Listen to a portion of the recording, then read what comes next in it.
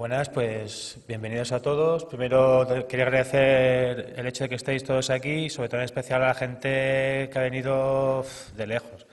O sea, ya el año pasado nada más pensar en esas personas ya me puse a llorar, pues pero este año no podía hacerlo, pero vamos, que, ¿sabes? Darle las gracias a, Sol, darle las gracias a Lourdes, a Maribel, a la gente que todavía está por, por venir y a iconoclasistas, por supuesto, y nada, y a todos vosotros también, que sabemos que ha sido eh, un sobreesfuerzo desplazaros, el, trabajo de preparar las comunicaciones, el hecho de venir, el hecho de, que el Congreso siempre supone unos gastos ¿no? y que es un momento complicado. ¿no? Y el hecho de que confiéis en este proyecto, que es de mucha gente, pues la verdad es que nos llena de orgullo.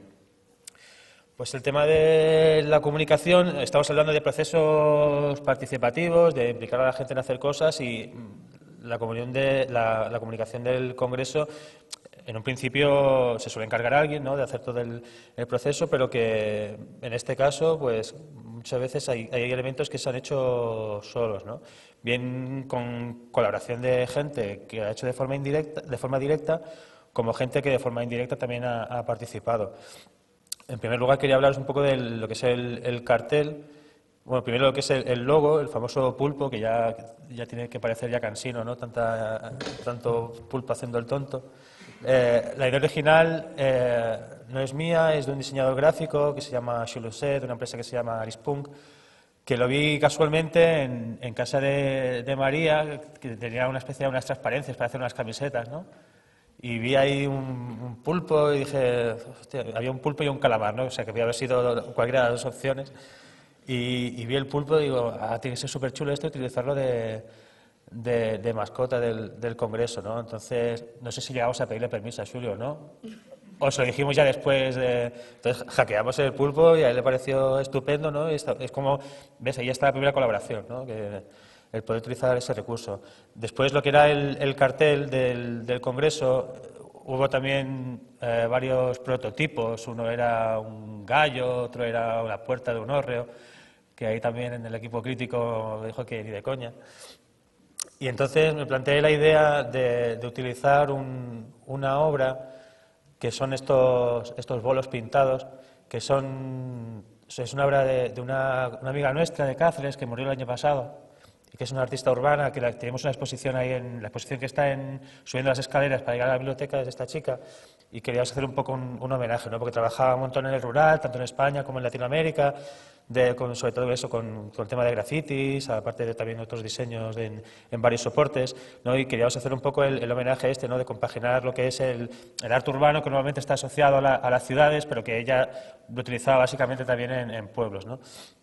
Y era, queríamos hacerle este homenaje y entonces eh, utilizarlo también en, el, en la cartelería. ¿Veis? Ahí tenemos todos los, los pulpos que han aparecido para hacer referencia a todas las, las partes ¿no? del Congreso, tanto de, de las sesiones como de, de, las actividades que iba a haber. También en, en los mensajes en, en, Facebook de se acaba el plazo, daos prisa, os quedáis fuera, cosas de esas, ¿no? Uh, pasa un poquito el de antes. Bueno, ¿pones el vídeo? Vale. Eh, bueno, eh, cuando, para hacer la convocatoria, lo que decía Saba antes, ¿no? que el año pasado hubo un, un esfuerzo grande porque era la, primera vez que se hacía y queríamos que se enterara la mayor parte de, personas posible. ¿no? Entonces hubo, un, bueno, ese año también, un mailing brutal de mandar correos a todas las universidades del mundo prácticamente, a colectivos, asociaciones de amigos del museo de no sé qué, amigos del yacimiento de no sé cuántos, de empresas de arqueología, de patrimonio, eh, asociaciones relacionadas con medio ambiente, medio rural y tal. Y claro, había cosas sorprendentes, ¿no? Porque a lo mejor el 90% de, bueno, el 80% de los mails no llegaban nunca y del 20% que quedaban, eh, a lo mejor te contestaba una persona y a lo mejor las 100 personas o 140 personas inscritas, no les había mandado yo el mail. Entonces, a lo mejor hay una, comunicación oculta ¿no? una, de, alguien que se entera, que a lo mejor no le interesa, pero sí que se le comenta a alguien ¿no? y así podemos conseguir gente. Ah, aparte del, mailing, yo tenía una idea a la hora de difundir el, el congreso, ¿no? a lo mejor sobre todo en redes sociales, ¿no? algo gráfico. Entonces tenía pensado de que a lo mejor personas famosas vinculadas con el medio rural, ¿no? ya había pensado en o, con, o, con, Galicia, o yo pensado en, Manuel Rivas, ella había pensado en el presidente de, el presidente de Cantabria, ¿no? El, el del Pobluco, digo, pues que hable, yo qué sé, del rural, Miguel Ángel Revilla, digo, pues no sé, ya que sigue como, ah, pues mira, pensamos que el SOPA es una buena idea, pues estaría bien que la gente se vincula, vinculada al, al, rural, pues podía ir al Congreso y tal, ¿no? Entonces, al final no lo pude conseguir, también por falta de tiempo, y conseguimos esto en una campaña que intentamos sacar que se llama Estás tardando, ¿no?, en apuntarte al, al SOPA. ¿Está enchufado el sonido?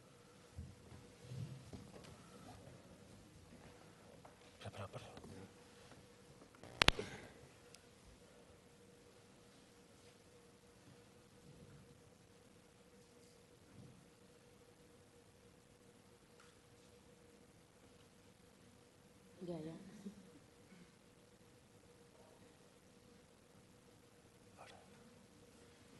Ya. Oye, vente al sopa, el del pulpito. Venga, te estás tardando. Pero vente al sopa, hombre, al del pulpillo. Ya estáis tardando en venirse al sopa, el del pulpito. Venirse, corriendo, venirse en coche, pero que sea eléctrico, que no contamine. Hola amigos, soy Leo Harley. Vengo a daros un aviso. Nos vemos en el Sopa, en el Pulpito, en Galicia, dentro de nada. Yo voy ahí. ¿Qué estáis esperando? ¿Qué estáis esperando? Allí, al Sopa, al Pulpito. ¡Vamos! ¡Arriba! Queridos, estáis tardando ya mucho en venir al sopa. El del pulpito, el del pulpito, hombre. Este, este, el del este, pulpito, este, bueno, ¿no? eh, Al sopa, todo el mundo. al sopa. Ya. Vamos, apúntate al sopa. Apúntate que ya estás tardando. El del pulpillo. ¡Ay, el sopa! ¡Vete al sopa! Ven al sopa, hombre. Claro, ya estás tardando. El del pulpillo, el del pulpillo. Que os vengáis para el sopa, el del pulpito, os meten una colleja. ¡Ah, vengáis ya leche! ¡Hoy, hoy! ¡Hoy, hoy, hoy, hoy, hoy, hoy, hoy! Pero cuando yo mañana no, hoy, hoy. ¡Corten, corten! ¡Corten ya! ¡Corten! En realidad, o sea, contando la verdad, y ya que estamos haciendo la- el, Congreso transparente, eh, yo soy amigo de, de Edu Soto, entonces le pedí el, el favor ese. Claro que seguro que muchos de ellos ni sabían que era el SOPA, ni sabían que era un congreso, ni sabían nada de eso, ¿no? Pero por eso hablamos del tema de la, de la colaboración tanto directa como indirecta, ¿no? La colaboración directa es, como me dijo Edu, a lo que sea yo lo hago y tal. Indirecta de los demás que pues son compañeros de, Edu y le hicieron ese favor que no sabían ni para quién era ni, ni para qué era. Entonces, para que veáis también el- todas las colaboraciones y todas las formas de ser activo en un, en un proceso, aunque realmente no intervengas de forma directa. Eh, también ha sido importante la, la comunicación ¿no? que se ha dado del, del Congreso a nivel prensa, a nivel medios. Eh, al igual que ha pasado con el tema del mailing, el año pasado fue, fue muy intenso, mandamos notas de prensa por todos lados. Y este año también, o sea, ha sido, ha sido bastante importante, yo creo casi igual que el año pasado, pero ya pensamos que habría eh, ya un conocimiento por otro, otro tipo de redes, ¿no? A- Además de, de que publicamos en, tanto a nivel gallego, esta es una, una entrevista que nos hicieron, que hicieron a María en Praza, que es un, un diario, eh, no sé si también en analógico o solo digital. Solo, solo digital, bastante importante aquí en, en Galicia. Lo- Luego, a, nivel nacional, un, ejemplo solo, en, también digital, Noticias Positivas, que precisamente ese día fuimos Noticia Positiva del día 22 de mayo, el Congreso, el Congreso SOPA, y luego también a nivel internacional, ¿no? también con, con revista- revistas culturales tan importantes como Hipermédula. ¿no? Eh, hablando de también lo que es comunicación, y también lo que hablaba Saba antes, ¿no? de, de hablar con los, con los interlocutores locales y a la hora de utilizar a la gente ¿no? para facilitar esa comunicación de todo lo que haces, eh, tenemos dos imágenes. ¿no? Una del, del proyecto que comentaba Saba, que es de donde salió Cine Tínere, ¿no? que era el, SOPA, que por ejemplo esto es un, pueblo de, de Salamanca que se llama Robleda, que ahí eso, intentamos hacer eso, la misma comunicación que hicimos con el resto de sitios, para poder hacer la proyección de cine, para poder hacer las mesas de trabajo ¿no? con los agentes locales. Y este es un día que, que los únicos agentes locales que vino fueron Juani, como parte del tema más cultural, ¿no? y una señora que, que estuvo viendo todas las películas y que, porque le dijimos, ¿y cómo vino usted sola y no viene con nadie más? Y dice que es que aquí soy la única del pueblo que quiere aprender algo, ¿no? Estoy acostumbrada a que salgan, eh, que el ayuntamiento proponga cursos de lo que sea, ¿sabes? Y de, a lo mejor de cursos de lectura, de informática, de lo que sea. Entonces, ella siempre se apunta, pero como nadie va, pues tiene que suspender el curso, porque a lo mejor necesita un mínimo, un mínimo de seis personas, o siete, o diez, o quince, ¿no? Entonces también eso es un problema del rural, también sobre todo relacionado a acciones eh, desarrolladas por la administración, ¿no? Que a lo mejor no tienen en cuenta eso de que si no hay un mínimo, mira, no merece la pena molestarse por, nadie. ¿no? Entonces la persona decía, "Pero por una cosa que puedo ir y que nadie me, me impide o que me lo va a suspender por el hecho que no haya, que no haya un mínimo, pues, y entonces era la única mujer que venía, la única persona que venía todos los días. Y, y, y es también por el hecho de eso, de, hombre, teníamos como referente local a Juaní, pero Juaní es un pueblo al lado de Ciudad Rodrigo y Juaní de Salamanca, o sea que nos hizo el favor por estar en la provincia, ¿no? De acercarse, ¿no? Pero es lo, es lo que hablamos, ¿no? Había también un, un señor que era como el presidente de una asociación cultural, que organizan cada no sé cuántos años una jornada sobre la comarca, histórica, no sé cuánto, pero el señor vive en, en Burdeos, vivía o Lyon. Bueno, vivía en Francia y venía una vez al año solo de vacaciones y, y solo movía gente cuando se organizaba eso. ¿no? El resto del año, cualquier actividad que quisiera montar, pues no tenía nada, nada de éxito. Y sin embargo, en la imagen de al lado es un yacimiento que hemos estado excavando este año en un pueblo de Badajoz que se llama Higuera de la Serena, en el cual nosotros, en el, en el equipo, en el equipo de la excavación, había un arqueólogo que era del pueblo. Entonces, lo típico que tú, cuando haces una excavación, lo que hablamos muchas veces también en los debates, de difundir, de todo el trabajo que realizamos en, campo, pues que lo conozca la sociedad y tal. Pero vale, tú puedes organizar algo y puede ser que la gente vaya o no vaya. En este caso, el que hacía de reclamo no era el yacimiento, no era el proyecto, sino era él. Él como vecino del pueblo, que además es arqueólogo y además participa en ese, en ese proyecto. ¿no? Entonces, ya sabiendo que está, como le llaman, a Gutiérrez, que está Gutiérrez en el yacimiento, pues ya si organizamos una charla en una terraza de verano, petada hasta arriba, organizamos una visita al yacimiento, que si vierais cómo es el yacimiento y, y vierais que hoy subieron más de 100 personas, es para alucinar, porque era una cuesta así en pleno verano, que venían padres, abuelos, niños, un equipo ciclista que tiene el pueblo, vinieron, hicieron una ruta de 20 kilómetros, dejaron las bicis abajo y subieron para arriba. ¿Sabes? Que es como. Es también eso, tener en cuenta esa, esa comunicación, ¿no? De, no solo. Dos minutos, mierda, ¿cuánto queda? No, no, vale, vale, corro. Eh, de, de ver eso, ¿no? De, de contar con la gente, no solo a la hora de decir, oye, mira, tengo un colega tal, pues dile que vamos a ir a hacer tal y que llame a todos sus colegas para que vengan. Y así hacer como que la gente del pueblo participa. No, no, lo importante es hacer partícipe a esa gente desde el principio, a la- tanto a la, a la hora de planificar el, el proyecto como tanto a la hora de, de ejecutarlo. Y. Sí.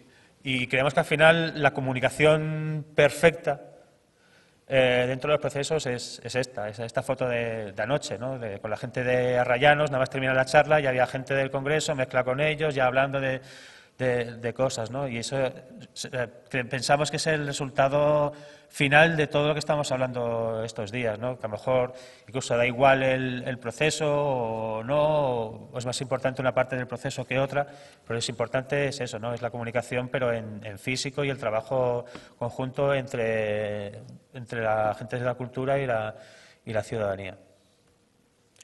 Y por último, queríamos presentaros, todavía está ahí un poco eh, en proceso de creación, es la, la revista en la que vamos a publicar las actas. Es- se llama La Descomunal, es la revista iberoamericana de Patrimonio y Comunidad. Ah, el año pasado, en, el, en el SOPA 13, publicamos las actas en una revista de la Universidad de Extremadura, una revista indexada, eh, con todos los requisitos para ser una, revista con contenido científico y tal. Pero, claro, teníamos que someternos a una serie de... Bueno, someternos en realidad, ¿no? Ellos tenían sus normas de publicación y tenían unos plazos, pero esos plazos también por motivos, no sabemos si obvios o no, eh, no se han podido cumplir. Había un acta para los ponentes y otro para las comunicaciones. Las ponentes iban en la revista y las comunicaciones iban en, una- en un monográfico y el monográfico tenía que haber salido en enero. Y había dos monográficos. El primero tenía que haber salido en enero y el segundo en junio. O sea, todavía no ha salido ni el primero. ¿no? Entonces, a lo mejor, por disponibilidad de los correctores y todo eso, ¿no? pues al final, pues de momento no ha salido, tiene que salir, pero no ha salido. Entonces, nosotros hemos tomado la decisión de hacer una, una revista que tendrá su ISSN y todo y tendrá intentaremos que todos los artículos que se publiquen, aparte de las actas del Congreso, pues tengan toda la máxima calidad posible. Lo que no estamos dispuestos es a someternos a ningún criterio establecido de normas de, de publicación, de condicionantes en torno a la gente que edita, a la gente que publica y a la gente que a lo mejor pueda, pueda dar apoyo a la revista.